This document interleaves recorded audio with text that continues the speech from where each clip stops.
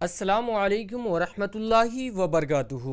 कैसे हैं आप लोग? उम्मीद है कि आप खैरियत से होंगे। मैं हूँ सरफराज आलम और आप देख रहे हैं इस्लामिक ज़िक्र। नाजरीन, हर मुसलमान मर्द और औरत को कुरान शरीफ की कुछ छोटी बड़ी आयतें या सुरह याद होती है।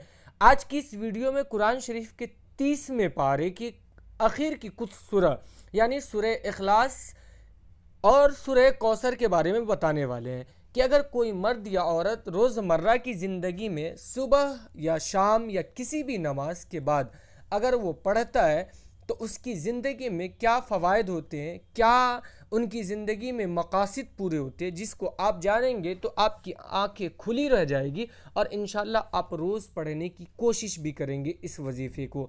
नाजिन ये दौर ऐसा है कि हर लोग आजमाइश की ज़िंदगी में अपनी ज़िंदगी को बशर कर रहे हैं। कोई लोग किसी न किसी वजह से परेशान रहते कोई माली हालात की वजह से, किसी की दुआ कबूल नहीं होती तो कोई कारोबार की वजह से, यानी कोई ना कोई परेशानियाँ उनकी रोज़मर्रा की ज़िंदगी में आती रहती है। याद रखिए कि अगर कोई परेशानियाँ आए तो आप मायूस ना हो, क्योंकि मायूस होना इस्लाम में हराम है। आप अल्लाह तबारक व ताली की ज़ात पर यकीन रखें इन सारी परेशानियाँ धीरे धीरे टल जाएगी। अगर आप वज़ाइफ़ करते हैं तो उसके भी फ़वाद आपको इन बहुत नज़र आ जाएँगे और कुरानी वजीफ़ा करते हैं तो बात ही कुछ और है। आज की इस वीडियो में आप सभी को बहुत ही पावरफुल और कमाल की सूरह, दो सूरह के बारे में बताने वाले, जिसके कुछ फ़वाद आपको बताएँगे। इन आप जानोगे तो दिल में खुशी भी होगी और आप रोज़ पढ़ोगे इन तबारक वाली लेकिन उससे पहले एक गुजारिश है कि मैं रोज़ाना आपकी खिदमत में अच्छी अच्छी बातें और अच्छे अच्छे वज़ाइफ लेकर आता रहता हूँ। तो आप मेरा सपोर्ट किया करें, जिससे मैं आगे बढ़ूँ तो मैं आपकी हमेशा हमेशा खिदमत करता रहूँ।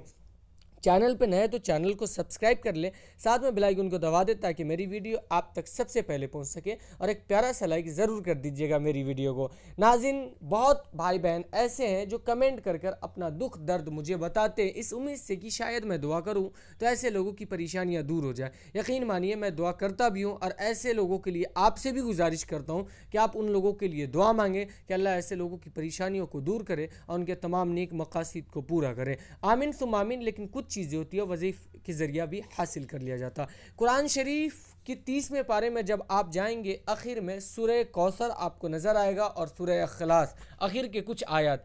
यहाँ पे आप स्क्रीन पर देख सकते हैं, मैंने सबसे पहले सुरह कौशर कौसर को खोला है। एक मरतबा मैं पढ़ के बता दूँ। अउज़बिल्लिमिनशैतवानरजीम बसमीम इन आतना कल कौसर फ़स्क़ल रबी का वन हर इन नशानिया का हुआ अबतर। नाजिन, इसको अगर कोई मर्द या औरत शुरू में ग्यारह मरतबा दुरुज शरीफ पढ़कर कोई भी दुरुज शरीफ पढ़ सकता है, इसमें कोई हर्ज नहीं है, लेकिन बेहतर यह कि वो दुरुद इब्राहिमी पढ़े, जो नमाज़ में पढ़ा करते हैं, वो आपको याद ही होगा।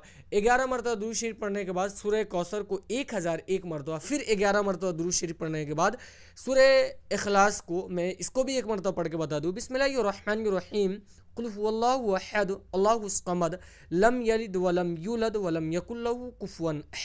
नाजिन इसको भी एक हज़ार एक मरतबा पढ़ के आखिर में ग्यारह मरतबा दुरू शरीफ लगाकर याद रखिए जिस नीयत के लिए आप ये वजीफ़ा करेंगे मसलन कारोबार में तरक्की के लिए सुबह फजर की नमाज़ के बाद पढ़ कर निकलते तो इन उस दिन आपका कारोबार में बहुत ज़्यादा ज़्यादा फ़वाद होंगे। पहली चीज़ है। दूसरी चीज़ है कि अगर किसी मर्द या औरत की दुआएँ कबूल नहीं होती वो दुआ मांगते वो फजर की नमाज़ के बाद ही इसको पढ़कर इन तबारक वाली दुआ मांगे उनकी दुआएँ कबूल हो जाएगी। रिस्क के लिए बरकत के लिए इस वजीफ़े को करके दुआ मांगते इन उनके घरों में बरकत और रिस्क भी आएगी। और रात को सोते वक्त ये पढ़कर अगर सोते हैं तो शैतानी वसवसों से आप इन महफूज रहेंगे। और जो भी शायातीन अगर आप पर आ, बुरे ख्यालात या ऐसे जो आपको परेशानियाँ में डालना चाहते हैं, वो चीज़ से इन आप महफूज हो जाएँगे। ये चार फ़वाद मैंने आपको बताए, आपकी दुआ भी कबूल होगी इन इस वजीफ़े को करके। आपके घरों में रिस्क भी आएँगे, बरकत भी आएँगे, आपकी परेशानियाँ भी दूर होगी।